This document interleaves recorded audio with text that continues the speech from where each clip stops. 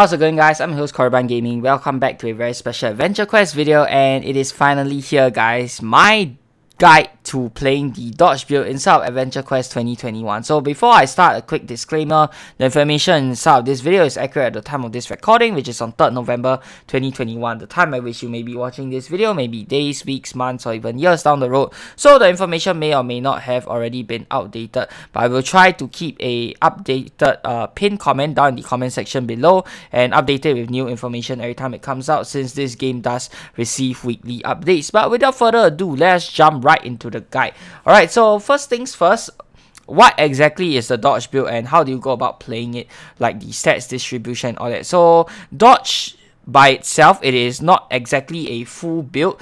In fact, it is sort of like a sub build if you ask me, simply because the number of items they need to play this build is so very little. You literally only need uh, one item per slot. In fact, you don't even need to fill up all slots. Uh, like if you're really trying to min-max everything in my opinion. So yeah, you really only need one item, uh, dedicate one item per slot out of your entire build to go ahead and play the dodge build effectively and that is uh, really good because this dodge build what it does is it basically allows you to ignore all damage and all mechanics of uh, monsters. And this is really good for uh, stuff like bossing. For questing, of course, you want to use your regular, like maybe a nuking build or something like that. But for bossing, the dodge build is by far the best build, in my opinion, because you don't really need to care what mechanics the monster has. You can skip it completely because chances are the monster is not going to be able to hit you unless one, you just get very unlucky, or two, the monster is auto hit. And we've not really seen a lot of auto hit monsters inside the game. In fact, 99.9% of the monsters inside this game do not have an auto hit mechanic. So you really really don't need to be worrying too much about that. Now for stat build, okay, uh, for dodge, you really can just stick with your regular stats. Okay, it doesn't matter what build you're playing, warrior, ranger, mage, beast, uh, hybrid, beastmaster, whatever. Uh, the dodge build doesn't really require you to have like a strict distribution of stats, but ideally you want to have some dexterity, okay, because dexterity does help with dodging, and a lot of the stuff here, okay, a lot of the weapons actually are range, okay, and for, you might want to invest uh, some points in intellect as well, because there are some things that cost MP, but that being said though, if you have, if you are running a build that does not invest in dexterity or intellect, it is still fine, you can still play this build, no problem whatsoever whatsoever. Now, let me go right into the items that will be wanting to use for the builds. And I do not have every single item that I mentioned here, but I'll be telling you guys where to get the items for items that are not perma rare. Okay, so we'll start with weapons first the best weapon that you can use for the dodge build is obviously the big dictionary okay? Big dictionary is a perma rare weapon so if you have it then good for you. If you don't have it then no point uh, in me telling you where to get it because you will literally never get it since it is a perma rare item. Okay so for big dictionary why is it so good? Is because it comes with this built-in spell called panoply 653 MP yes you do need to be a mage in order to use this weapon or have some points invested in intellect. That being said though if you have the also perma rare quad force miscellaneous item, I guess you don't need to be a mage to use it. But you know, uh, the chances of you having both of those items are probably not going to be very high. So if you have both of those items, then sure you can run it. Uh, you can run this weapon even without a uh, mage build. But if you don't have uh, that weapon if you don't have the quad force item and you want to run this item then you probably want to uh, you might want to look for an alternative which I will mention later on. Okay so that is really what the weapon is used for. It gives you a defense boost 30 to MRM for 5 turns. Okay Next up, alternatives. Okay, so if you don't have this perma rare weapon, you can go for alchemical unity. This weapon you can switch between range mode uh, or magic mode. So depending on whether you're a ranger or mage, you can use this weapon. If you're a warrior, I guess you can use it as well. It's not really that uh, it doesn't really affect it that much in my opinion. Okay, and you want to click on it uh, such that the X handle is glowing. And what this does is uh, it will inflict a blind on your opponent. The strength of the blind is dependent on how much damage you deal. So the more damage you deal, the stronger your blind is going to be. So this one doesn't have a limit as far as I'm, I'm aware except for the built-in game uh, limit soft cap which is 150 so you're going to be able to inflict the maximum 150 blind on this monster if you can deal enough damage to it. And uh, this weapon what people like to synergize it with is the kindred armor. So the kindred armor if you build up enough charges use the kindred strike with this weapon equipped and the monster will basically get hit with a blind that's strong enough to stop them from hitting you at all. So uh, yeah, this one has great synergy and you can get this weapon from the Grand Walk 2020 event. Unfortunately, this means that it is a seasonal rare and at the time when this video is released, you're probably going to have to wait uh, for about another half a year before you can get this weapon if you don't already have it. Okay, and the last alternative, okay, you can actually get this weapon from the Celestial Haven. Okay, let's go to the travel map. Sail east, travel south. Go to the Celestial Haven over here Okay, explore town. Go inside the Neko Armory, click on advanced shop.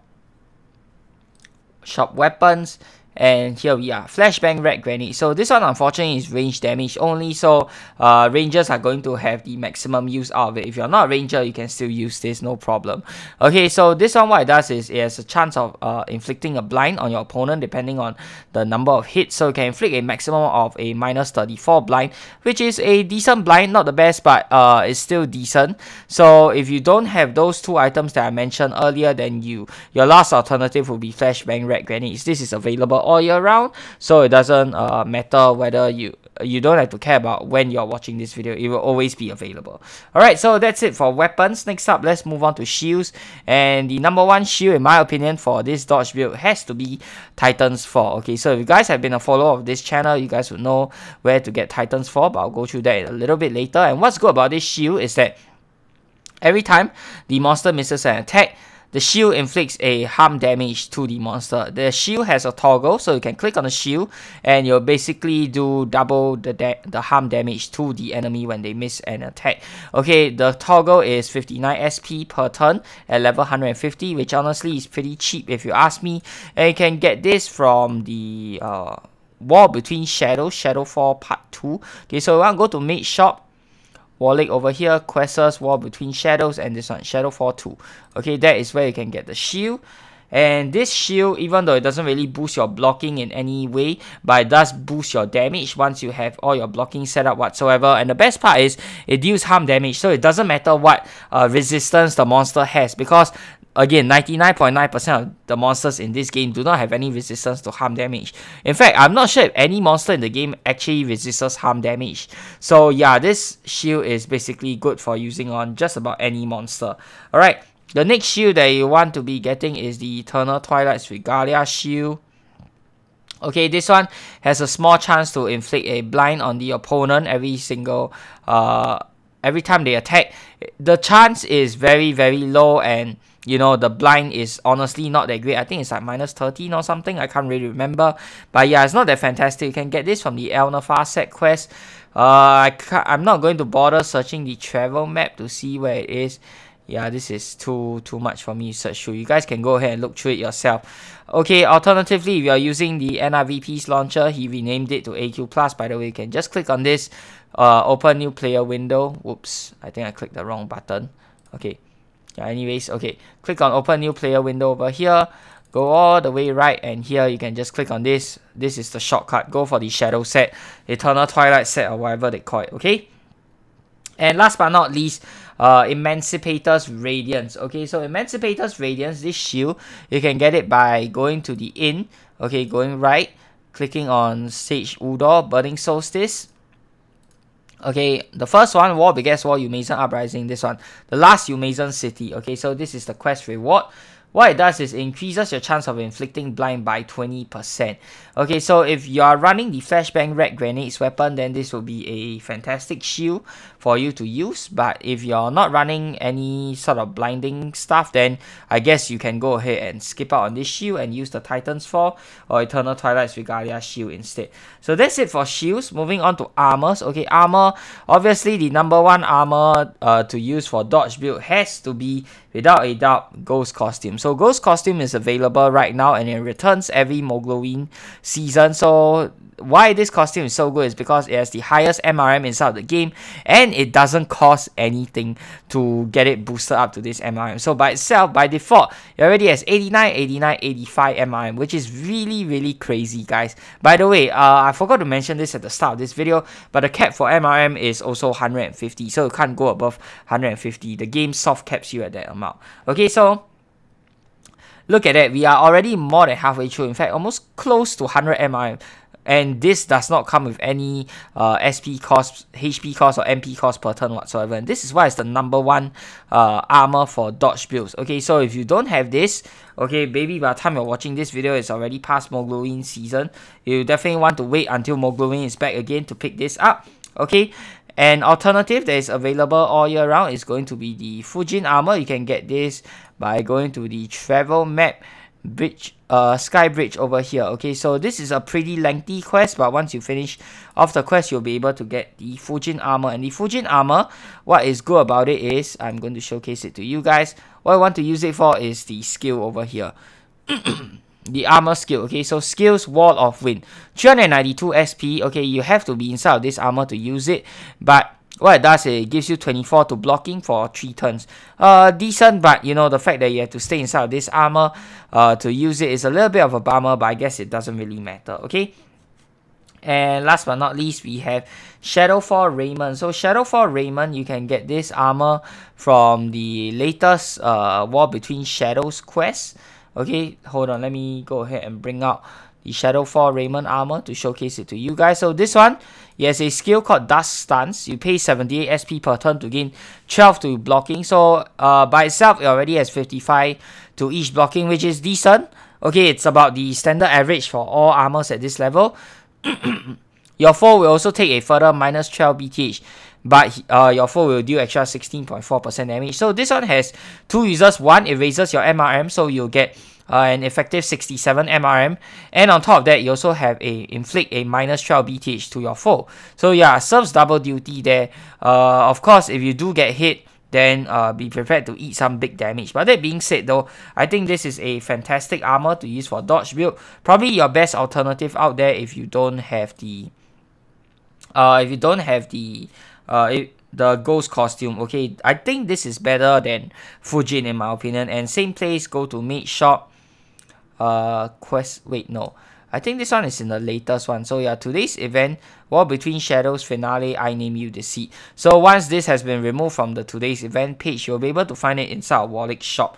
Okay, next armor, I actually don't have this, is the Sharab armor. This one you can get it from uh, Heroes Heart Day every single year and it has a skill that has a toggle basically. You can imbue your uh, attacks and give it a chance to inflict blind on your normal attacks. Okay, so this is a pretty good choice. If you want to inflict blind, you can use it with the Emancipator's Radiant Shield. Okay, but uh, this armor does cost Z tokens, do so do keep that in mind. If you don't have the Z tokens to buy this armor, then I guess you can skip it. And last but not least, the Hair Razor Magician armor. This one is another seasonal armor. Okay, this one you can only get it from the Grand Walk Festival 2020. So again, you are going to wait another half a year for it to come back.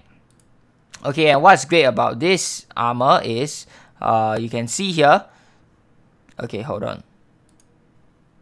Wait, wait, hold on. I think you can click on the armor somewhere. Yeah, you can click on the 8. 8. Okay, 157 SP to grant yourself a plus 24 boost to your MRM. So plus 24, that gives you like 79 for magic and like uh 71 for the rest of the defenses. So pretty good, but the SP cost is a little steep in my opinion. Okay, uh little bit little bit of a steep SP cost, but you know, that being said, it's still a good choice if you want to play the dodge build. Alright, and that is it for armors. Next up, moving on to spells. Okay, for spells, uh, the first spell we have Imanok Edok or Code Konami as they like to call it. Okay, so this spell, you can get it from uh, Yuga, I believe. Hold on. Imanok, Imanok, where is Imanok? Okay, you guys in Memorial Shop. And this is the spell that... Okay, so before you do anything in your dodge build, if you have this spell, you want to cast this spell first. Because this spell does not stack with anything else. If you do not cast this spell first, you will not be able to stack your MRM. So you want to cast this... The very first thing you want to do is cast this spell before stacking your other MRM bonuses. And what it does is it gives you a defense boost for 2 rounds plus 30.88 to blocking defenses. Okay, this skill does cost SP. I can't remember if an MP version. Okay, so you can find this uh, spell inside of the inn over here and click on memorial shop here. Spells, yeah, there is an MP version as well.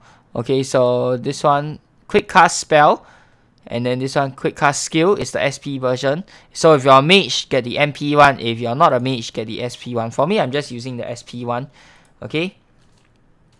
Next spell, okay, I actually don't have this either. This one is the Terrapin Shell spell, and what it does is it is not a quick cast, unfortunately, but it gives you a 25 uh, boost to your M MRM for 3 turns. It also gives you an extra Earth Elemental Shield, but that is pointless if you're running a dodge build. So you can get this from Travel Map, and then you want to go to the Chess Master Saga. When the words the Chess Master Saga? Okay, never mind. I think you can find it here as well. No, no, no. Okay, you can't find it here. yeah, okay, I'm not going to go ahead and look for it. I don't know where is it, but Chess Master Saga Cavernous Chronicle. That is a quest that you want to go to to find the Terrapin Shell spell. I do feel that uh, Imanok is better be simply because it is a quick cast and this is not. And on top of that, this one it only boosts your blocking by 25 whereas Imanok boosts your blocking by 30. So definitely want to use Imanok over the Terrapin Shell since both are not rare in any way whatsoever. Alright, moving on. We have pets. Okay, so for pets, pets you want to use uh the number one choice has to be pig drake. And you can find the twisted version of pig drake inside of the rare golden gift box shop.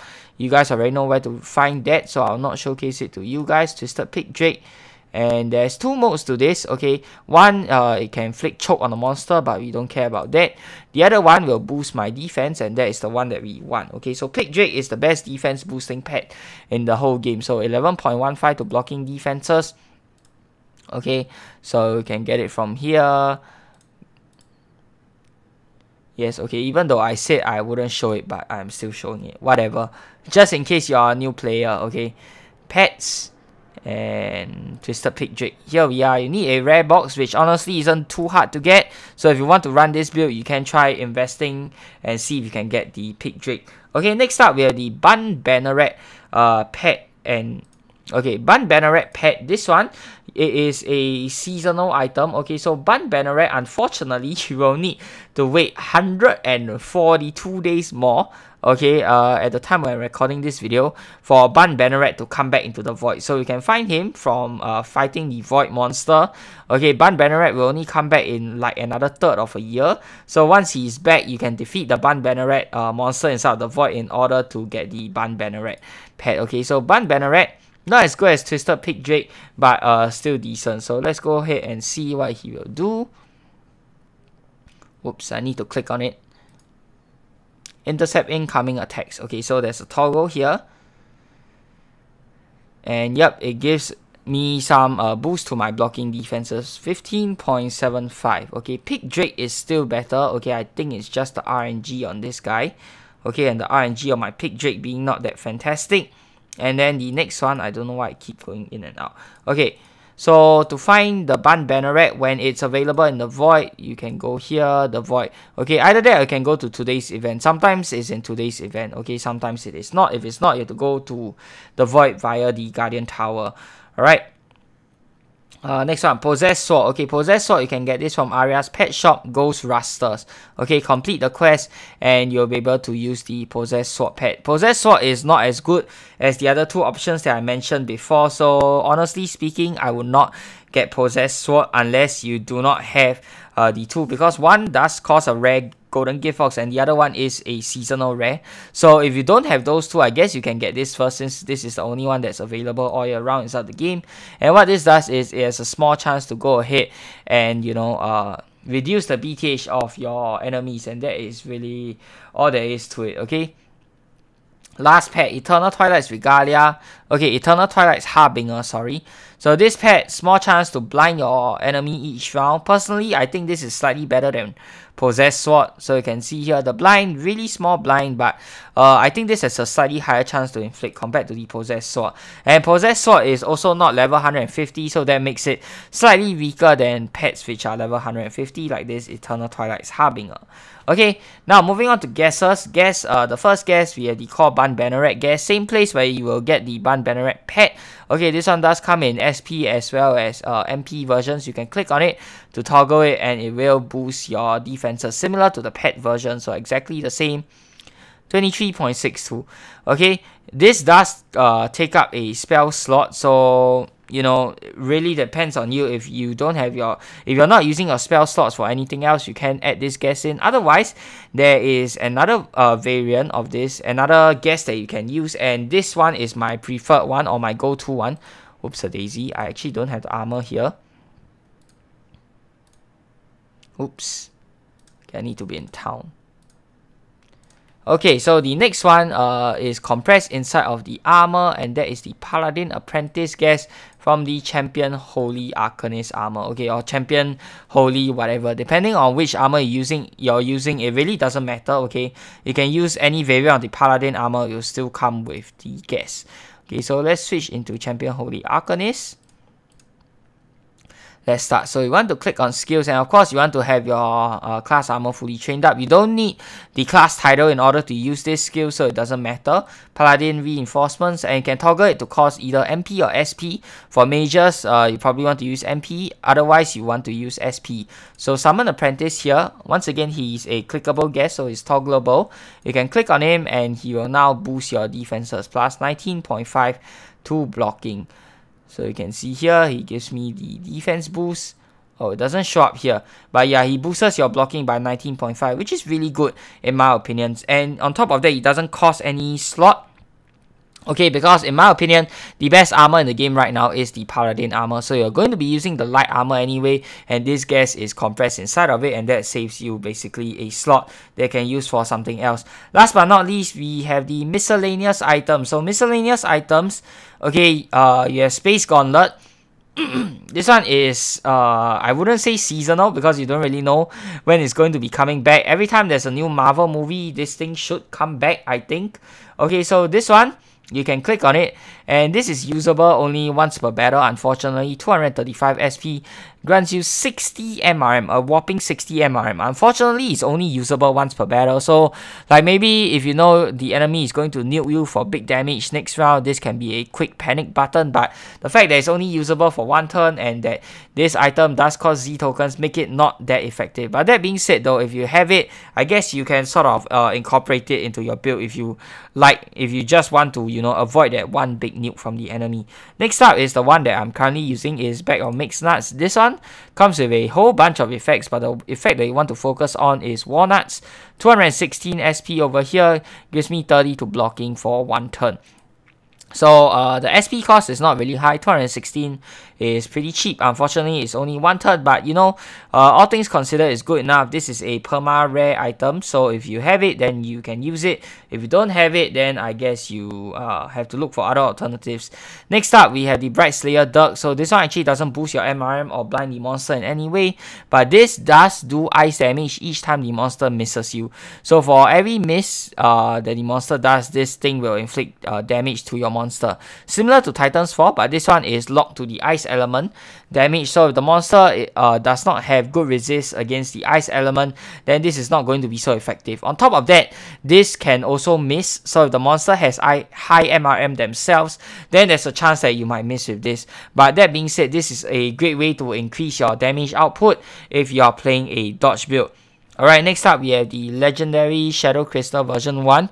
have to wait for Rock Day. Okay, today is not Rock Day, but during rock day you have a plus 10 to MRM blocking and that's basically it I guess that's what you want to use it for okay uh you can't really use this for the dodge build if it's not rock day but I can get the feather of the rock but uh, that one only boosts your MRM by 4 which is really piss poor so I wouldn't recommend getting that at all okay if you don't want to run shadow crystal you can run horror show This one is better. Okay, it gives 9 MRM and you don't have to wait for a rock day to come around. So 9 MRM, this is basically your best uh, non-rare non-premium miscellaneous item that you can use for your dodge build okay and that is it for all of the loadout so uh, number one, weapons. Okay, big dictionary if you have it. Otherwise, alchemical unity, seasonal rare. If you don't have that, flashbang red grenades. Okay, shields. Titan's Fall number one for increasing your damage output. Otherwise, Eternal Twilight's Regalia which is uh, available all year round, or Emancipator's Radiance, which uh, you'll want to use only if you're using Flashbang Red Grenades or any other stuff that blinds the enemy. Otherwise, don't use Emancipator's Radiance. Armors, okay, this is the big one. Ghost Costume, which is available right now and available during Mogloween seasonal item the best armor they want for a dodge build. Hair Razor Magician, this one available during Grand Walk, another seasonal item. Fujin armor available all year round. Okay, unfortunately, the skill means that you have to stay in your armor. Otherwise, your defense boost goes away. And last but not least, Shadowfall Raiment, again, available all year round. Dust Stance can inflict a blind on your opponent. And on top of that, gives you 12 MRM for small SP cost every single turn. Okay. So my recommendation for armor will be Ghost Costume number 1, Shadowfall Raiment number 2, uh, Foot Hair Razor number 3, Fujin number 4, and last but not least will be Sharab. Okay, almost forgot about Sharab. Sharab is tokens only, so not many people are going to get there. And Sharab you can use with your Emancipator's Radiant Shield as well. Spells, Imanok Edok, uh, basically the only one that you want to get. In my opinion, I think this one costs gold only. There's a SP and MP variant, so choose the one that suits your current build. You don't have to change it, change your build to suit the spell. Change the spell or skill to suit your build. Okay, so Imanok Edok, this is the number one thing that you want to cast before you even start doing anything okay? Because if you don't cast this first it will not stack with anything else okay? Terrapin shell is another spell. This is strictly a worse version of imanok edok in my opinion so i would honestly not recommend getting that. Both of these are not rare and uh cost gold so you know just go ahead and get the one that you prefer. But terrapin shell is weaker so get imanok instead. All right pets.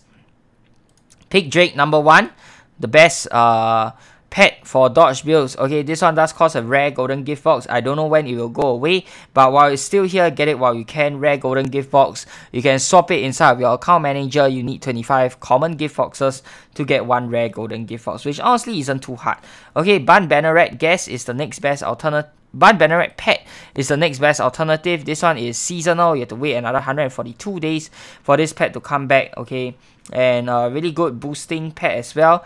Possess Sword, if you don't want to wait and if you don't have the golden gift boxes, this one you can find from Aria. Okay, Possess Sword, this is an under-leveled pet, so it will not be as good as a level 150 pet. What it does is can inflict a blind on the monster, and then last but not least, we have Eternal's Highlight, uh, Twilight's Harbinger, available all year round as well. This is level 150, ha slightly higher chance than the Possessed Sword to inflict the blind, but the blind for this is going to be slightly weaker than the Possessed Swords one.